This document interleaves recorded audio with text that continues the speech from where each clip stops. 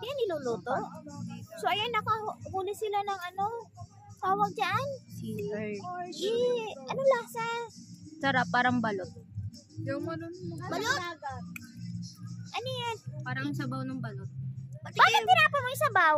Dahil hindi naman ano yung sabaw, ito lang yung yellow lang. Hindi kinakain yung black, yung yellow lang. Yung dilaw?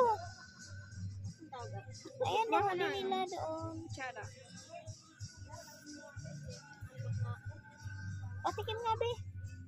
Wait, Hindi na ako marunong mag-antay.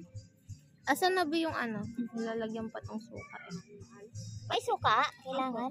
Ako yan pa. Ayun pala suka. Be, ano mo? Hindi ko nakikita, be. Tapos patikim mo kay tita. Kunti lang kasi baka mamaya hindi ko ma hindi ko type yung lasa. Lagyan mo pang suka ulit. Yan, yan lang, yan lang. May suka yan. Apo.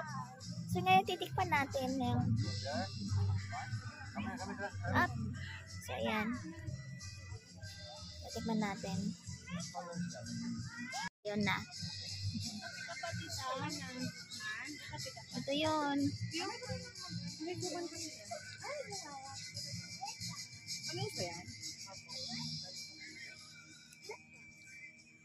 Ayoko ng lasa. Pareho tayo lang ng dagat, no? Ayaw, ayaw, ayoko na umulit.